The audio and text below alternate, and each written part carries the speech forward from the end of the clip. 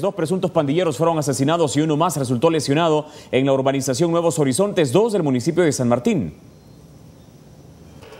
Uno de los pandilleros asesinados con arma blanca fue localizado en Los Olivos Ponientes, sobre la línea férrea, a la entrada de la urbanización Nuevos Horizontes. Según la versión policial, este sujeto habría andado robando en una zona de una pandilla contraria y al identificarlo le dieron muerte.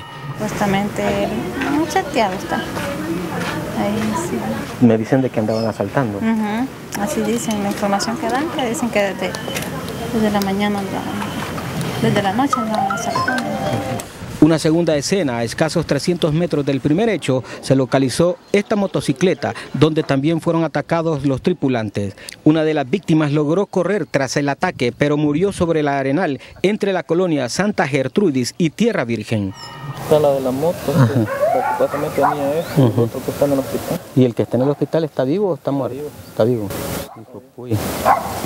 ¿Usted se tiene que contar qué pasó?